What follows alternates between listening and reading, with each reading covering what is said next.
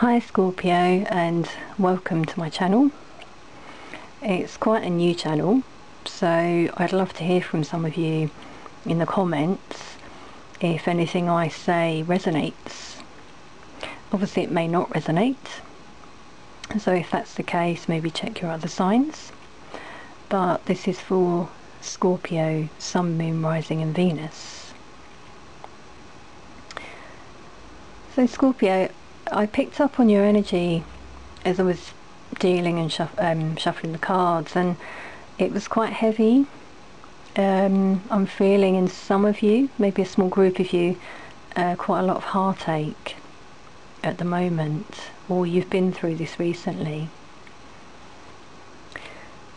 Now in your past there was some sort of clarity, something came to light for you. You saw through the fog.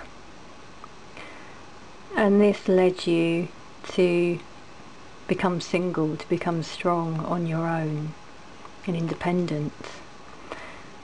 I'm feeling here it's the end of a marriage for some of you or relationship. At the moment we've we've got this six of wands so this speaks of victory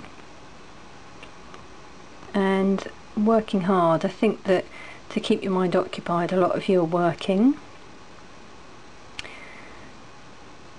This victory may pertain to a court case uh, regarding a divorce because this is our marriage card. So it could be the end of, of this situation for you. Now in your subconscious we've got the devil, which could be a Capricorn, but I'm sensing this is a codependent relationship. You haven't quite detached from the past and from this person who has been in your life for quite a long time, I feel. Pretty long relationship or marriage, I think. And your obstacle seems to be this partner now it could be an Aries, um, male or female, but I'm picking up on a masculine energy here. This person is independent, quite dominant, bossy, maybe a business owner. And it seems this is the person who has broken your heart, really hurt you in some way.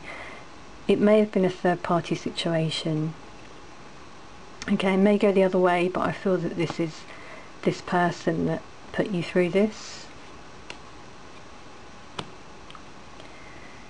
Now, externally, we've got the Justice card.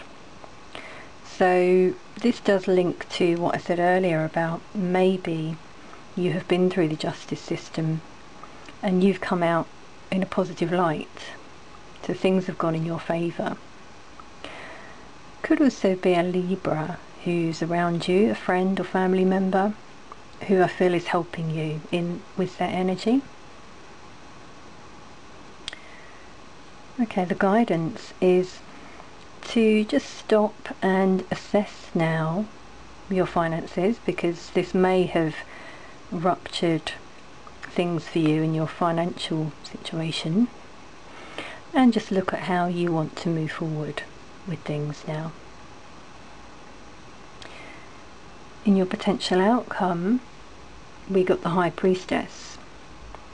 So this speaks of being in, intuitive and looking internally at that knowledge, that inner knowledge and wisdom that you have in terms of moving forward in the way you want to.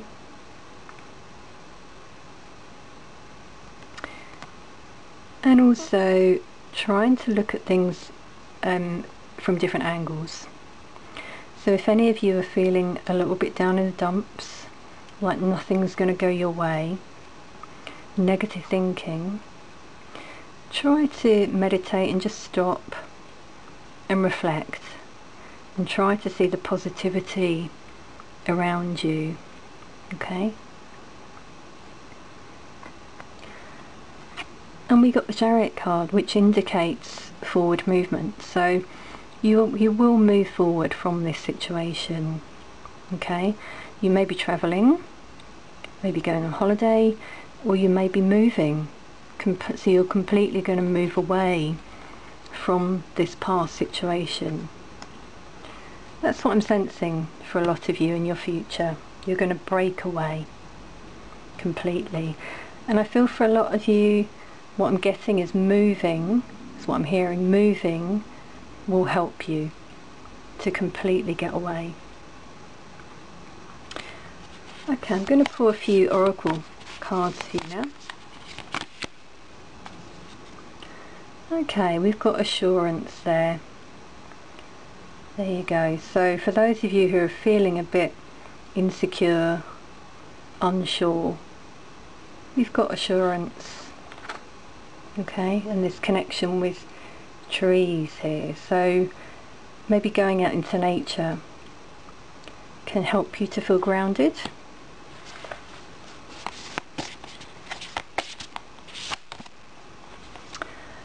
And we've got be in service.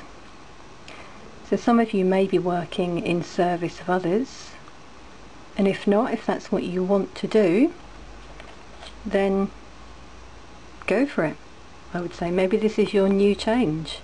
You're moving on to something new in your life for yourself.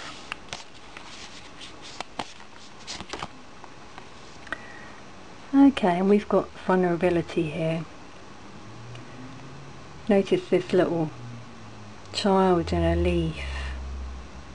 Okay so this to me speaks of connecting with your inner child, going within and doing things for yourself in order to feel good about yourself and to feel safe as well.